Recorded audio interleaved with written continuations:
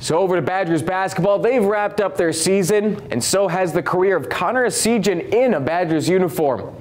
The guard going to X to say he thanks Madison for everything, so he hits the transfer portal Maybe because he saw a significant drop in playing time this season, going from averaging 27 minutes a game last year as a freshman to just seven in his sophomore campaign.